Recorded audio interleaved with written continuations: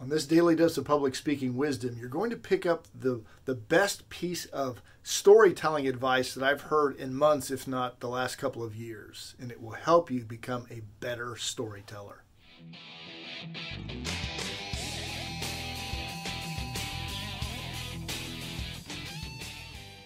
A couple of weeks ago at Toastmasters International Conference, I heard an insight into storytelling that was refreshing and new for me, and it will help you become a better storyteller.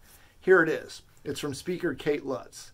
She says, Far too many people spend way too much time on the people in place in their stories, and they don't get to the conflict, the action, and the resolution fast enough.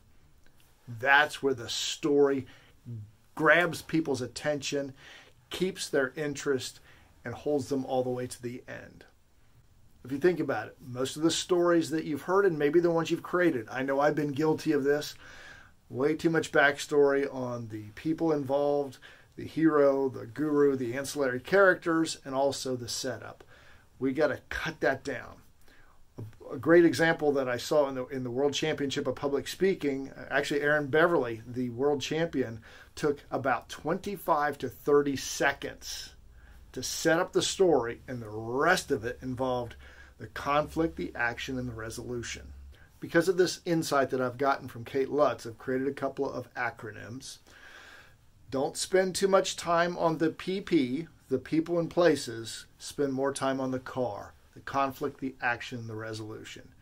You can do whatever you want with those acronyms, but it will help me remember that as I am putting my own stories together, and more importantly, when I'm coaching others. Think about the best books you've read, the best movies you've watched, the best stories and speeches you've heard, didn't they immediately pull you into a conflict? Didn't they escalate that conflict?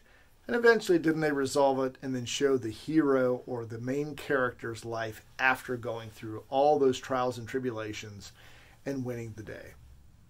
Try this with your next story. I think you'll find that your audience will react much better to you and you'll leave a lasting impact. Talk with you on our next daily dose of public speaking wisdom.